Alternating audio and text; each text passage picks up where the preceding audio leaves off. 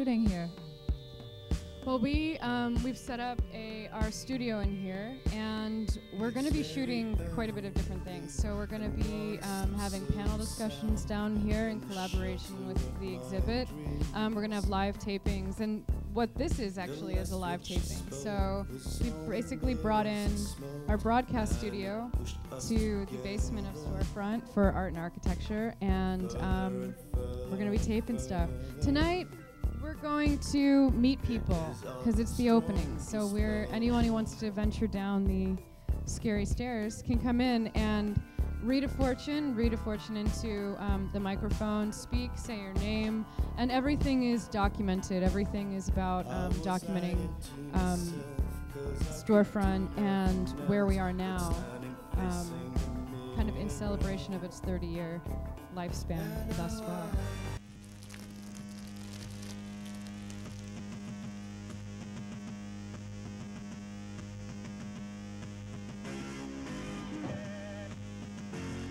Why not leave it up to users to configure their own domestic setup? Do you want to repeat that for the audience? Why not leave it up to users to configure their own domestic setup? To configure their own domestic setup. How do you feel about that? Uh, my girlfriend left me last night for two guys and had a threesome in a hotel, and I'm about to kill myself. And so I'm getting really, really drunk. I think that answers that question. Anyone else have a fortune cookie? I'm gonna follow these guys upstairs. Here I go. It's really, it's really noisy up here. So I'm out here. This is storefront for art and architecture. It's pink and it's not green. I'm hoping you can still hear me downstairs. Oh, look who it is. It's Matt Bonner. He's our camera guy and he's late. Hi. Hey, how are you? Hi, Victoria. Where were you? At the bar? I wish. Smell like booze, Matt. I wish I was at work. You gotta answer me a question. Hit me. With my best shot. Here, Where are the drinks? I've got. The drinks are around the corner. Hold on, Matt. Hold on. This wall's moving. What do you think? I mean, come on. Hold on. Here's a question. Yeah. What's different about being of there? Well, I mean, I can only speak about being from Cleveland, and it's Talk to me about that. it's great. Really though? Uh, it's like Eastern. If you like Eastern European food, it's good. A lot of snow. There's a big lake. It's a great lake. Yeah, Lake Erie. It's the dirtiest and the deepest lake in the Great Lakes. Okay, fair enough. The dirtiest and deepest man. Yeah, the dirtiest and deepest. Yeah, he lives by. No, forget it.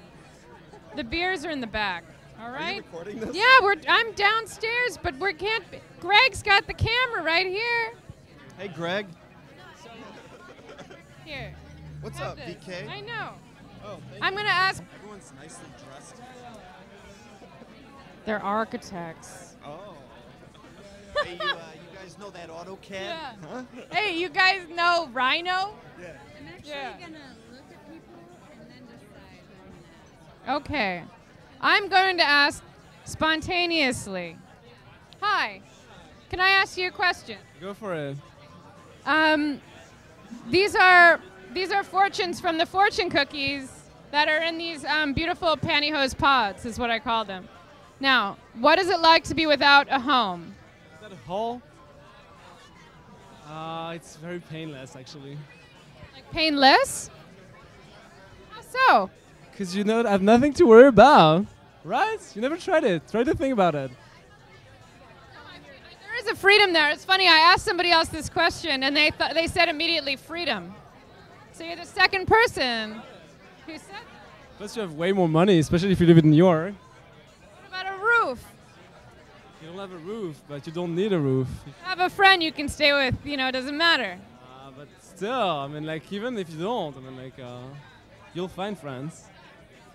Where are you from? Thank you. What is American architecture? What is American architecture? Um, is this the answer? No, that's as long as, as Okay, storefront's it's not been the answer. But how can I get the answer then?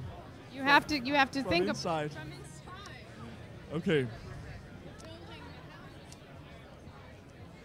I think I've often thought of um, extruding when I work with um, CAD programs. Then you have this extrude function where you have these squares in New York all over. And then I imagine that, that the, the high buildings are just extruded in a way. That's the way I think of it. So American architecture are, are these extrusions Yeah. that just keep going up. rectangles and then just extrude it. So in a way, it's a two-dimensional space converted into a three-dimensional space. I think. I think the city has got that that formula down. I think it's really boring, personally. Do you think there's a lot of wasted space in those scenarios? No. Not wasted space, wasted maybe, I don't know. But I, I'm curious though because I heard your interjection. You were talking about something, she said it's like New York architecture. California architecture is very different. How would you define American California, Californian architecture? Um, American Californian architecture is meant to be low to the ground, obviously, for the obvious reasons of um, earthquake scenarios or the chances of earthquakes. So um, they're meant to be low, whereas New York, as the other gentleman was mentioning, is high. New York can afford to build higher. Um, Still, like, New York can about certainly afford to build higher. yeah, we can afford to build higher. Uh, yeah. And California's low to the ground. New York likes to I yeah, like to build up. a little more ego maybe here. I don't know. Yeah. Oh. It can go both ways. Californian architecture can be widespread as well. It's very lofty, a lot more angular. You see less squares. Are you an architect yourself? No, I just study architecture. So you're you you you dabble in it, or you you study theory. Dabble in it a lot. yes. Hey, yeah, I'm just getting started. Oh, as Yes. a Oh. Californian, I'd like to ask you who three of your favorite architects are. Well, actually, I'm from New York. And Okay. um, three of my favorite architects are uh, Frank Lloyd Wright, uh, Henri Lebrun, who's a French architect. Um, he was the first introduction into steel. I don't like him because he's not American. Yeah. I'm No, just I'm kidding. not a fan of the French, but Yeah. the French really good. The French, I mean, they know how to build. Let's face it. Yeah. They're good innovators. Yeah. And good innovators. And the third, um, Henri Lebrun, because Lebrun started incorporating the landscape into the, the structural piece. So you didn't just have the building, but you also had the land.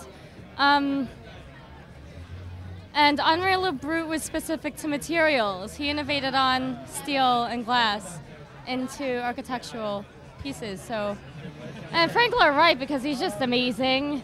You can't not like him. If you don't like him, you gotta be a asshole. You have to be an asshole. I agree. I like I like him too. And Andre Lebrut twice. I, I have to say thank you so much. You've been so um, lovely to speak with. Thank you. Thank you. Yeah. We don't get these people down in the basement where we actually are. We well, we have our studio in the basement here for the duration of the exhibit, and no one wants to come down because they're scared of the stairs. So we came upstairs. And there was a couple of Design deadbolts that came down, and they didn't want to answer anything. So we were like, "We're going upstairs. You can stay down here and play video games." And that's what they're doing. So we're up here now. Can I ask? Can I ask you a question? Yes, of course. Um, I'm, I'm taking a fortune from um, the fortune cookie pod pantyhose. Oh, wonderful. And what does it tell you? It says for me. Is it for me? it's asking a question. Okay, all right. It's asking this: How can architecture frame and house the spirit of art within? Well, it just has to allow for lots of possibilities. I mean, we don't know what art is going to be, so architecture just has to be open to whatever is possible. open equals better. How well, it's not very often open. So I think you know, creating an architecture that is allowing for different situations is really important, especially for art. You can't, you know, I mean, I think one of the challenges of architecture and art is too often the architecture is prescribing what kind of art can happen. Um, so ideally, it wouldn't be doing that. I guess. And the, and the cost of materials and all of that probably has a whole lot to do with. Well, I don't think it's so much about materials. It's more about how do you let space allow for different processes. You know, I mean, I think the best spaces for art are just really open ended. They're letting something happen within that is whatever the art wants to be. Do you Right. have an example of a building which? Well, you know, weirdly enough, I was thinking just as you said that, um, there's that recent exhibition at the Whitney, which was, I think it was Robert Irwin. It was like an installation that kind of stripped back the architecture of the museum just to the space and then did some very simple things within it that created a really amazing environment. You know, it, there was a scrim and there was daylight, and basically that was it. So the architecture was letting the art do the work, as it were. Um, so that's great when that can happen. It doesn't interfere, you know, it actually enables. It's a lovely way to look at architecture these days. Thank you so much. This is our broadcast studio. We're going to be in there until January, and we we're, we've decided to come up from the depths. It looks wonderfully dangerous. I love how it's So like- dangerous. They didn't Yeah. want us to You come could up. easily fall in there and never come out again. Oh, I know. We built stairs just to come up tonight. They wouldn't let us out of there. Oh, good. It would, Trap door. it would be exciting to be trapped down there, right? That's where we've been for far too long. Well, thank you so much. It's good to be upstairs. What is American architecture to you? Um, I Anything like two words. private. Private. Interesting. Interesting. What? One word. I'm sorry. Oh, look, dinner's here. Thank you so much. But there's food downstairs. Priority, food. Let's go. Looks like we have dinner arriving. If anyone wants anything, feel free. We have vegetable lo mein and um, fried rice and bok choy. Here we are, back, back down to the dungeon. It's quiet down here. Ooh. Greg, you patched in okay? Okay, buddy. There we go. Here we are. Feedback. Um, so welcome, and this is this is um, where I live. Um, I'm having dinner tonight. I have some guests over. They're leaving early because they're so rude, but it's fine. Uh, yeah, I'll call you. um, we we got food. You know, we're on we're on the dole, so we don't do it fancy, but we you know it's the good basics. The storefront TV. This is Storefront TV. Welcome. Thank you so much, but I really like how you edit things. Well, this is reality, actually. There's not, we're not doing it. We didn't manipulate it. So how long can we stay here before we die? Uh, of the lack of oxygen, of the uh, whatever. Yeah, of MSG. Um, we, we were asking upstairs a whole bunch of questions. We decided that we absolutely loved the idea of fortune cookies, just because I love them. And uh, you do. I want you to read that. How can we distill beauty from cosmetics? Well, the uh, let's say superimposition of another layer, Another. cosmetics, a, a kind of artificial surface. What am I doing? I, Cosmetics is an artificial surface, yes. Yeah, but I don't like this. It's not the, you know, it's not the lucky thing. Yeah. Here we go. Let's. Yeah. I'm passing. I would assume that two architects, both of them very much invested in the development of aesthetic projects with very different agendas, would have something to say about the question of how does one actually, how can we distill beauty from cosmetics? Meaning, what is superficial to what is essential in the understanding of beauty? And someone who talks about the body and cosmetics. How can we distill beauty from cosmetics? Go. We cannot, and we don't need to. So that's my answer. Yeah, uh, it's. I don't need to say anymore. I mean, I already said that it's not possible. It's not possible. Yeah. What do you say to that? I think it's possible. Oh, raising the stakes. All right. Tell me why. Uh, photographs and representation, they're, you know, like not you. So this construction of yourself, uh, an idea of another self that's not actually really you. So a fake you is actually a better you in some ways. No? Yeah, yeah, but it's more you, more you. Yeah. So actually, it's more authentic.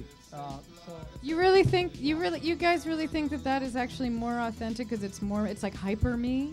Uh, I mean, I think authenticity and beauty is always constructed, always. So I think the idea of separating cosmetics from beauty is kind of not really necessary. Let's go before the question and uh, set everything in a different way, and then we'll have another cookie.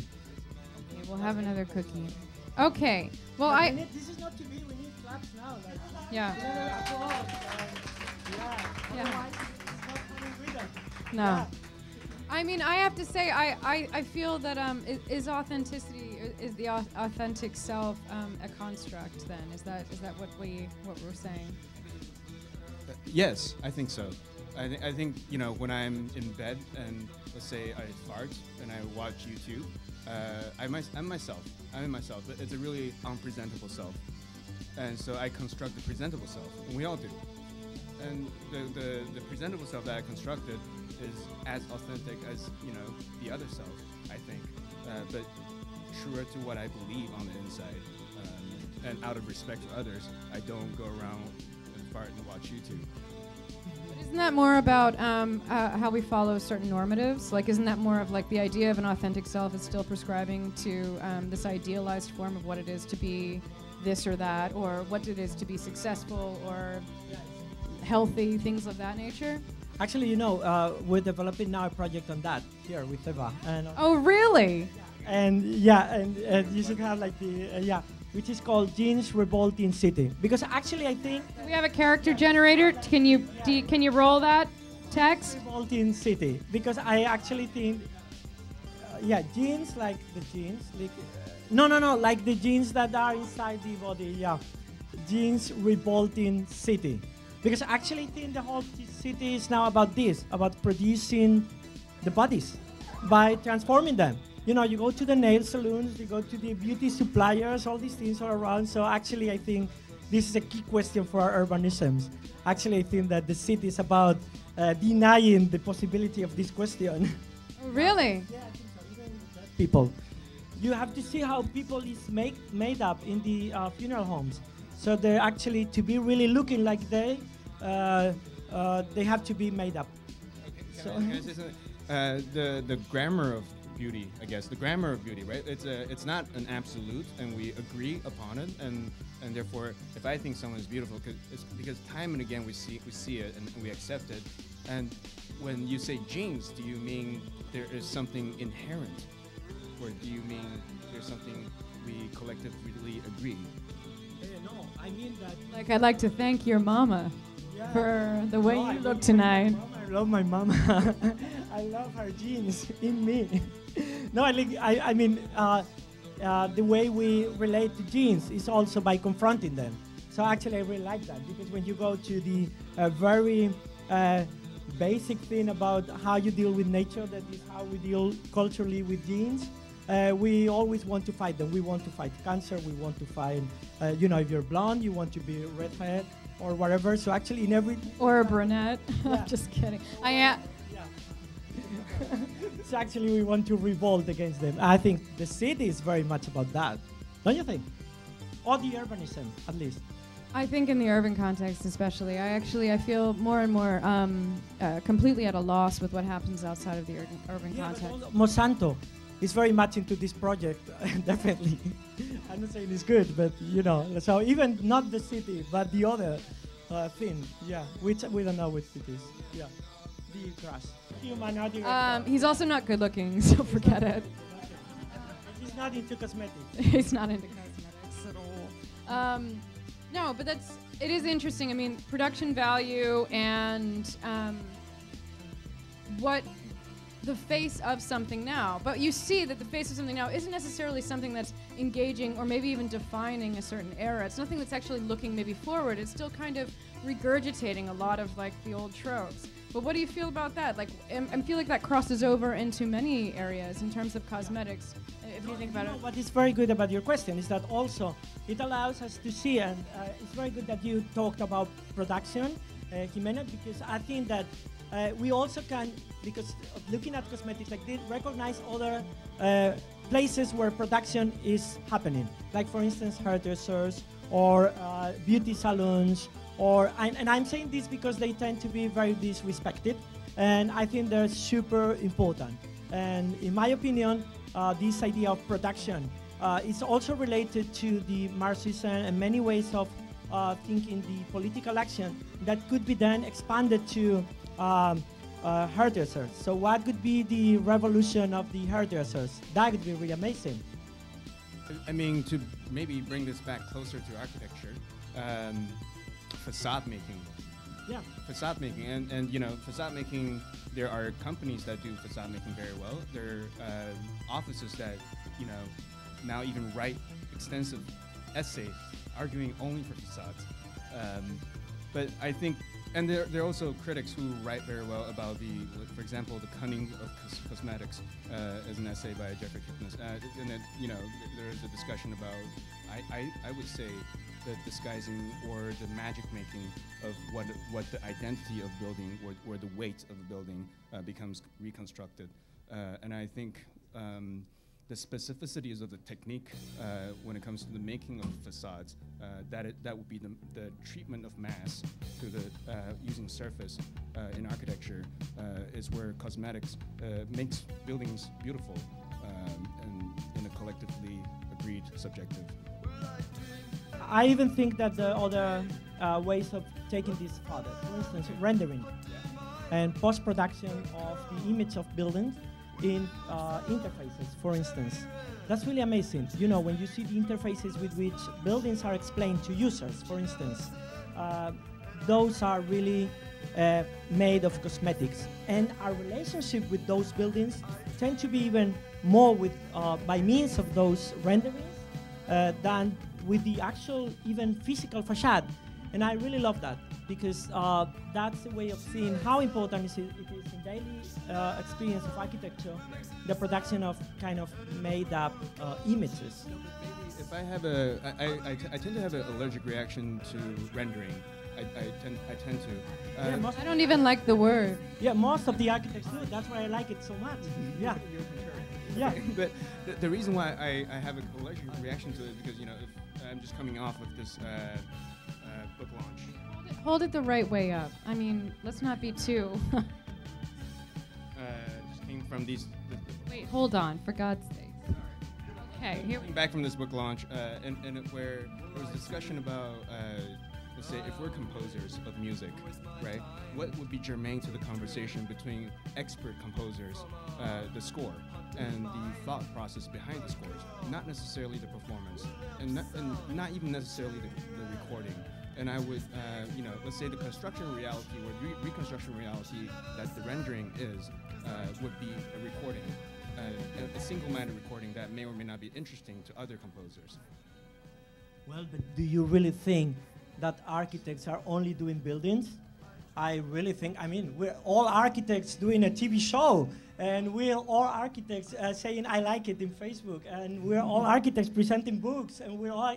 So the life of architecture goes beyond uh, the facades, the material facades. I'm going to interject here because I have a personal qualm with stuff happening in New York right now, and this might be bringing it back to a little more of a, you know, a, a gal on the streets. But I have to say that there's a lot of um, I.